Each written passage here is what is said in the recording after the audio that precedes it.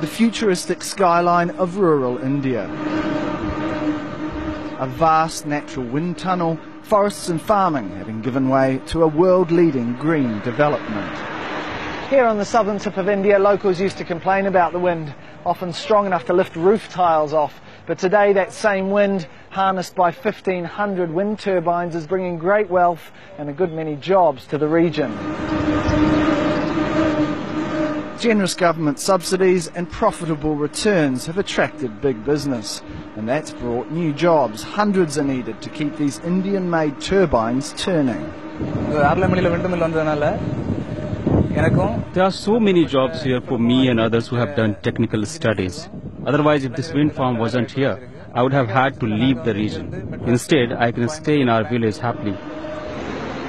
The money has seen a poor village prosper and bloom, a tidy town now home to many of the wind farm's workers. Previously, the wind was a curse and we had many problems. Now the wind brings with it money and everyone is happy. When we see the turbines, we are happy. But not everybody has seen the wealth. Maya Perumal's family sold their land to developers early on. I don't have a job here. I farm. Many did get work, but not me. There's no place for farming here now. According to experts, India could increase its onshore wind capacity by six times.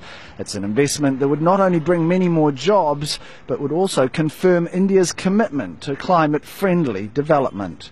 Tarek Bazley, Al Jazeera, Aralvaimozhi, Tamil Nadu, India.